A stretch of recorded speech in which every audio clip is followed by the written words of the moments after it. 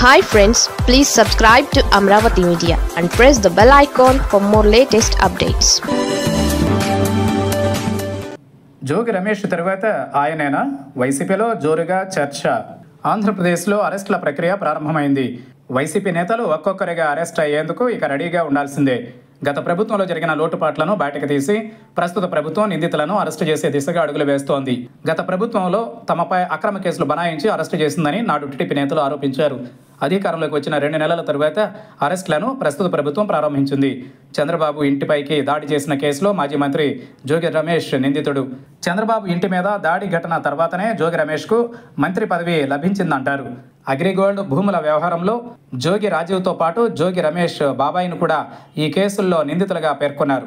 అగ్రిగోల్డ్ భూములను అక్రమంగా రిజిస్టర్ చేయించుకున్నారన్న ఆరోపణలతో జోగి రాజీవ్ను ఏసీబీ అధికారులు అరెస్టు చేశారు. చంద్రబాబు ఇంటిపై దాడి కేసులోనూ జోగి రమేష్కు తాడేపల్లి పోలీసులు నోటీసులు ఇచ్చారు. ఆయన పోలీసుల ఎదుట విచారణకు హాజరు కానున్నారు.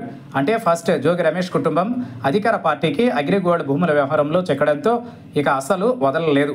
ఇప్పుడు వైసీపీ నేతల్లో చర్చ మొదలైంది. జోగి రమేష్ కుటుంబం తరువాత నెక్స్ట్ ఎవరు అనేది ఫ్యాన్ పార్టీలో హాట్ టాపిక్గా మారింది. అయితే కృష్ణా జిల్లాకు చెందిన మరో నేత త్వరలోనే అరెస్ట్ అవుతారని ప్రచారం జరుగుతోంది.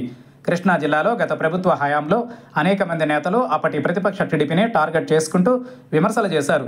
కానీ కృష్ణా జిల్లాలో గుడివాడ మాజీ ఎమ్మెల్యే కొడాలి నాని గన్నవరం మాజీ ఎమ్మెల్యే వల్లభనేని వంశీ మాజీ మంత్రి వెల్లంపల్లి శ్రీనివాసరావులు ఉన్నారని పెద్ద ఎత్తున ప్రచారం జరుగుతోంది. వీరిపై ఇప్పటికే కొన్ని కేసులు నమోదు కావడంతో వారిని అరెస్టు చేస్తారని అంటున్నారు. కొడాలి నానిపై టీడీపీ నేతలు గురుగా ఉన్నారు. తమ అధినేతను వ్యక్తిగతంగా దూషించడంతో పాటు ఆయనను కించపరిచేలా మాట్లాడడంతో నానిని అరెస్టు చేయాలని ఎక్కువ మంది తమ్ముళ్ళు కోరుకుంటున్నారు.